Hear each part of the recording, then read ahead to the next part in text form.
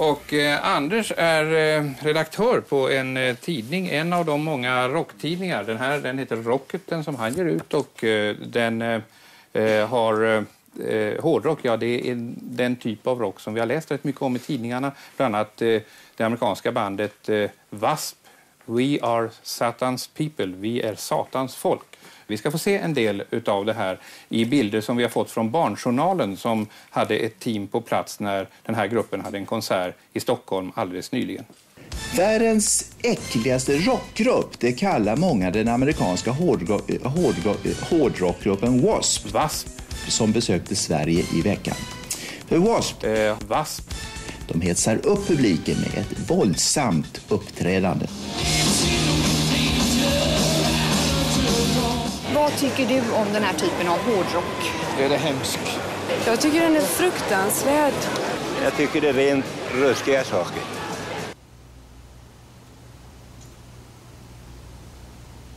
Den målgrupp som man har här, det är faktiskt så här unga killar. Vad heter den?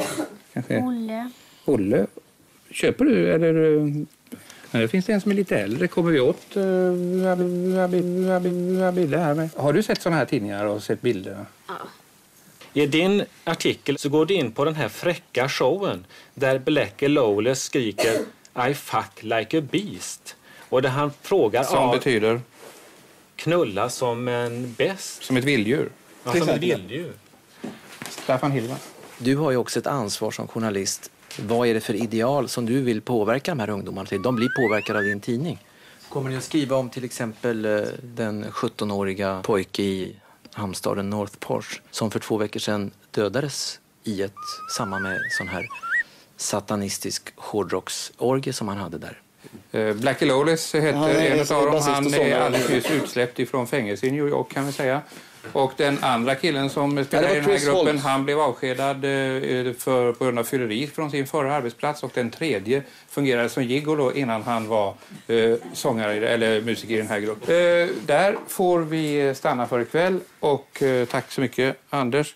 Eh, och Monica Malmgren som får avsluta det här med en dikt. Varsågod. Gud som haver barnen kär, se till mig som tretton är och som vart på rockkonsert. Fula gubbar på en scen, rått kött käkar de och ben. Vrålar som besatt om sex, om hur djurets lustar väcks. Men jag fattar inget alls när svärdet klyver flickans hals. Det står ej i Lukasbrevet att de har såklingor i skrevet. Vart jag mig i världen vänder, blodet syns från deras händer. Så Gud, igenom tusen watt, hjälp mig nu när det blir natt. Vasp.